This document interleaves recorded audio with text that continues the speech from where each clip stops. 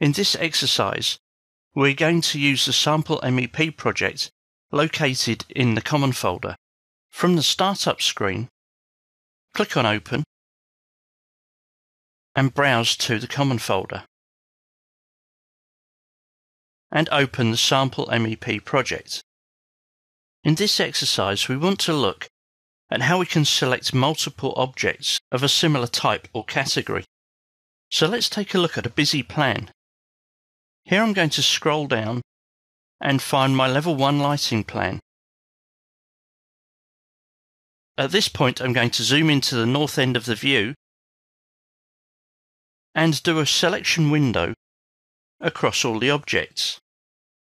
The contextual tab on the ribbon shows me that I have a multiple selection, as does the options bar and the properties palette. What I want to be able to do is only select lighting fittings. So I'm going to click on filter and in the filter we can see that we have several different types of objects selected, whereas I only want the lighting fixtures. I can uncheck these boxes individually or I can click on the Check None button. Then come back to the left side of the dialog and pick up lighting fixtures. Click on Apply and click on OK. This is as far as the Revit selection process will take me.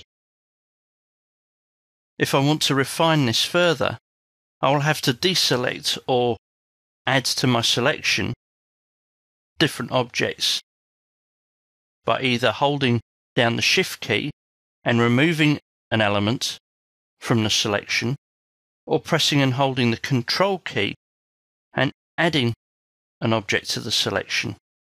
You can see when I do this that pressing and holding the Shift key places a minus sign adjacent to my cursor, while pressing and holding the Control key puts a plus sign next to the cursor.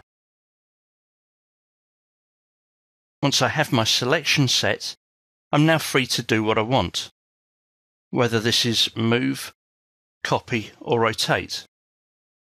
We will look at these commands future videos.